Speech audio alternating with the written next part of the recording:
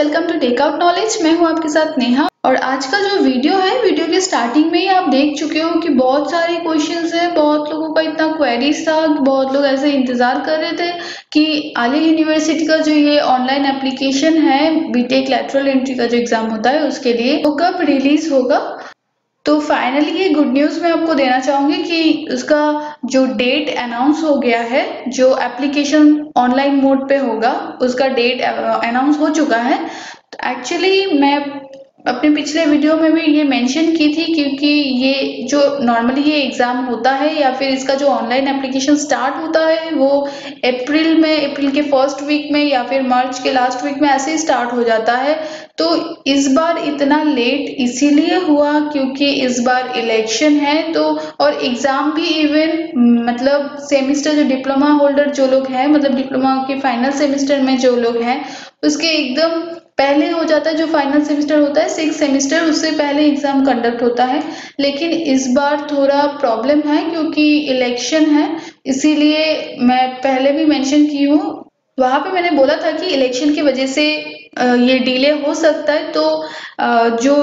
Date है, वो delay already हो चुका है, वो ऑनलाइन एप्लीकेशन कब से स्टार्ट होगा, उसका डेट अनाउंस हुआ है, लेकिन एग्ज़ाम कब होगा, वो यूनिवर्सिटी से अभी तक कुछ डेट अनाउंस नहीं किया है, सिर्फ़ ऑनलाइन एप्लीकेशन कब स्टार्ट होगा, उसका जो डेट है, वो रिलीज़ हुआ, हो चुका है। तो यहाँ पे देखिए A U two zero one nine जो एग्ज़ाम होगा, Aliah university admission test two zero one nine तो अप्लाई के लिए यहाँ पे देखिए to apply online for B Tech BCA and integrated MBA और यहाँ पे नीचे लिखा हुआ है इंफॉर्मेशन ब्रोचर और यहाँ पे पूरा इंफॉर्मेशन जो है बीटेक का बीसीए इंटीग्रेटेड एमबीए उन लोगों के लिए है और यहाँ पे जो लेटरल एंट्री का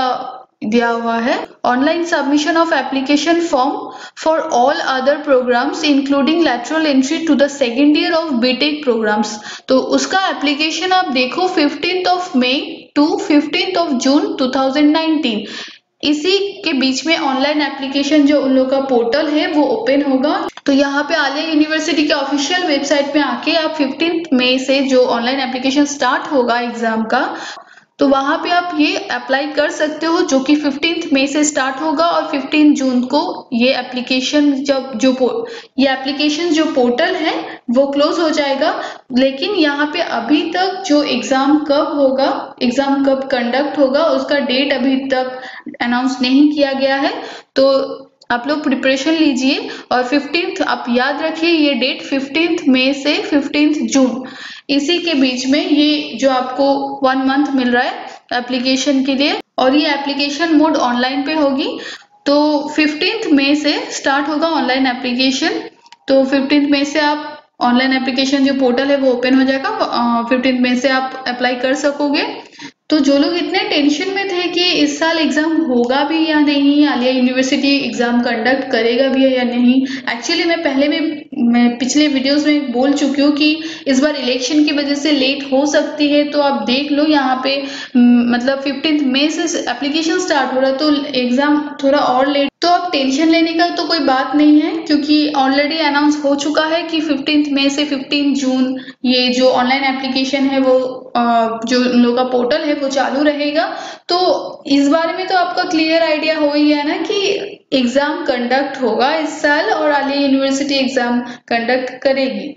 तो वहाँ पे आपका चांस है लेटरल एंट्री का जो एग्ज़ाम होता है, वहाँ पे। तो डोंट वरी आप बस प्रिपरेशन लेते लेते जाइए। And all the very best okay तो फिर मिलते हैं नेक्स्ट वीडियो पे। तब तक के लिए बाय बाय टेक केयर